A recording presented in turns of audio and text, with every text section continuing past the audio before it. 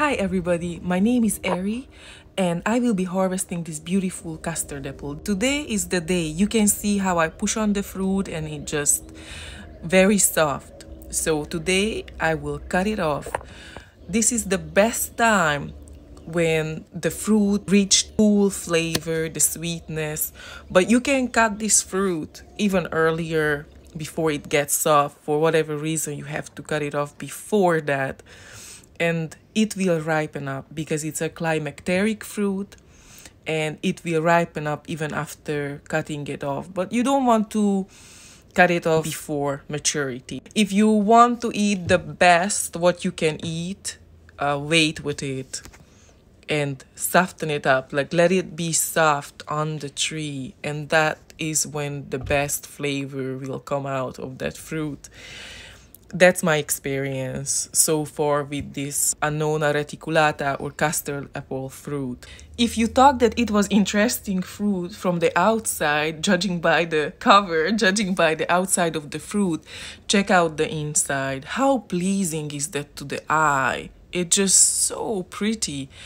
And the other very good thing, the seed and flesh ratio, very, very good. Small seed, get a good amount of flesh. You don't want to eat the seeds, uh, definitely don't want to chew on them. Just like apple seeds, it contain amygdalin, what normally degrades to hydrogen cyanide. Some countries using the seed, the leaves, and the unripe fruit for insecticidal treatment. Some people even using the seeds as or the leaves as a head lice treatment. But it did happen that by accident they let it into their eye because you know the way they were using to the head treatment or skin treatment and it caused eye problems so whenever you trimming back this tree and you get contact with the sap always wash your hands before itching your eye this is true for many other trees and plants.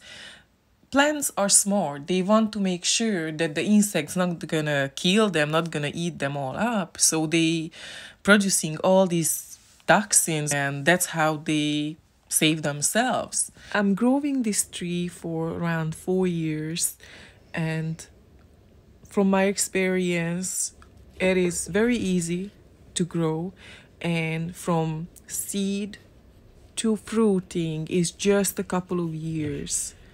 So it's definitely worth because it's a rare fruit, hard to find. When you find it, it's on the pricier side.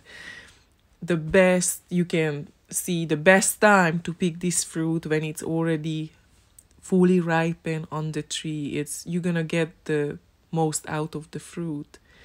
And so it's definitely if you have a chance, plant it, grow it, enjoy it. It's like a dessert.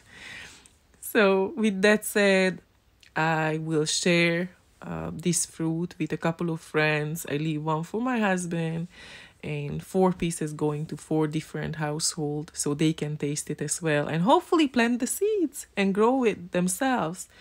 I grow this tree trees with uh, lots of organic matter, a lots of mulch and chop and drop like moringa and Mexican sunflower. I don't use any chemical fertilizer. Thanks so much for watching. Push a like if you like the video. And if you want to watch more plant videos, you know where to find me. Bye guys. See you later.